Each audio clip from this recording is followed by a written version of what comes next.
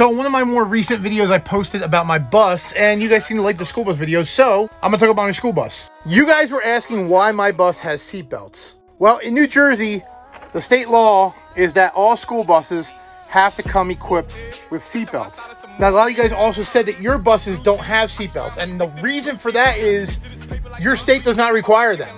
There's only a handful of states in the country that require seatbelts on school buses. Now, here's my opinion about seatbelts on school buses.